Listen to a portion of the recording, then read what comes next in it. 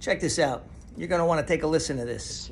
We've got an opportunity here to just show what the human spirit is made of, what we are capable of when we put our mind to things, what we are capable of when we are focused, what we are capable of when we are intentional, what we are capable of when we are committed, what we are capable of when we are driven.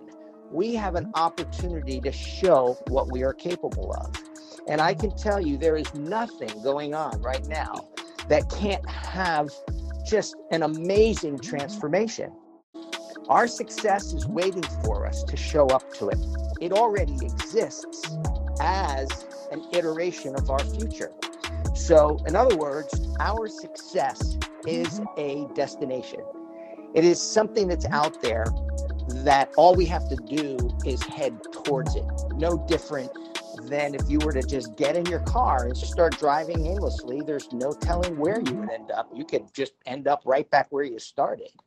But if you put an intention to drive somewhere specifically, it's out there waiting for you to show up.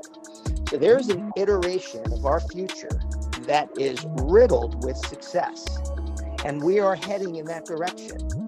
We are in the vehicle, seatbelts on, fuel tank is full, the wheels are balanced, the engine is humming, Waze, whatever you use, is pinpointed to where we want to go.